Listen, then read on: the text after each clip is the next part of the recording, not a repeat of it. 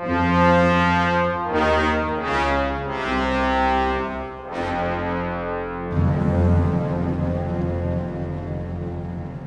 you first join the police academy, the first thing we will tell you is, this is your family now.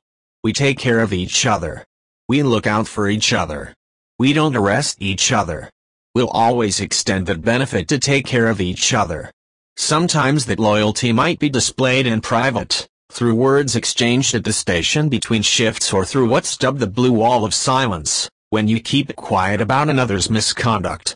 If you do question a decision or violate the blue wall of silence, you can be perceived as being disloyal. And that, in turn, can lead to you being shunned or excluded by your peers.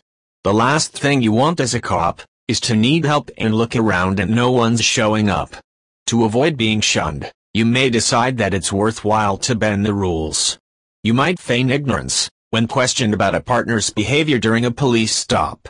Or you might remain silent, when a colleague acts inappropriately on the scene. Our credo here, at the Little Rock Police Department is, to get along, you go along. The, the, the, that's all, folks.